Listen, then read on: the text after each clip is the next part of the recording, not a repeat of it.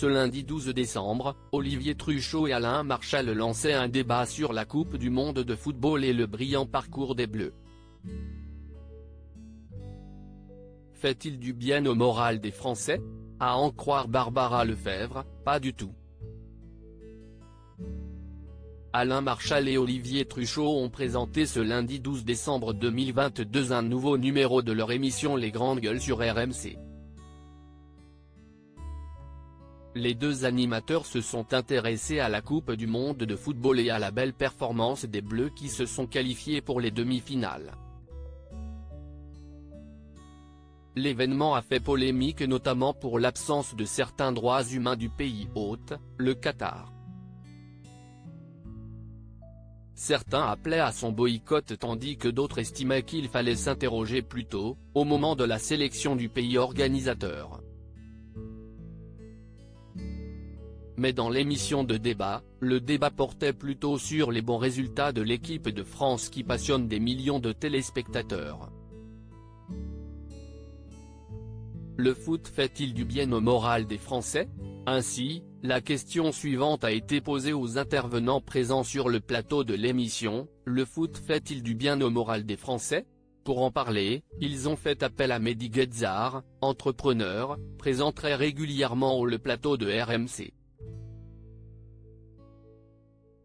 Il a été confronté à la vis de Barbara Lefebvre, qui est enseignante et aussi membre des Grandes Gueules.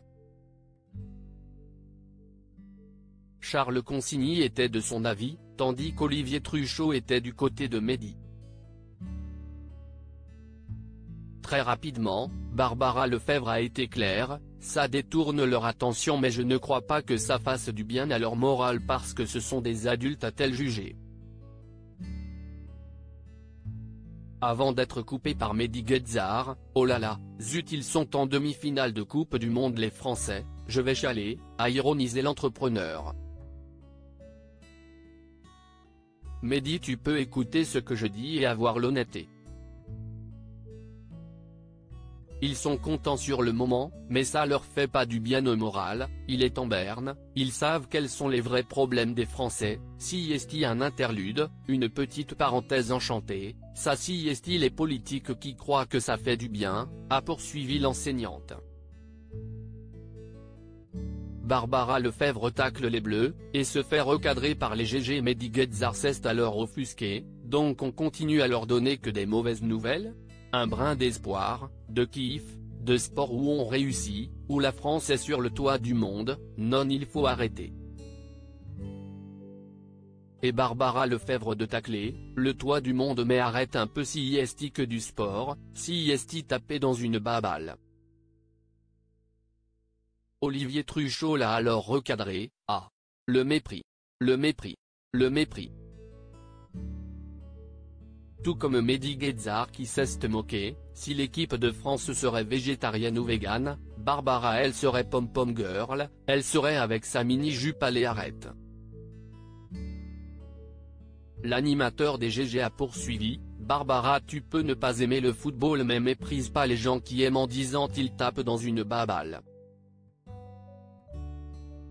Je sais pas si tu te souviens en 98, bien sûr que le foot est qu'une victoire, ne fais pas oublier tous nos problèmes rassure-toi on aura de quoi râler.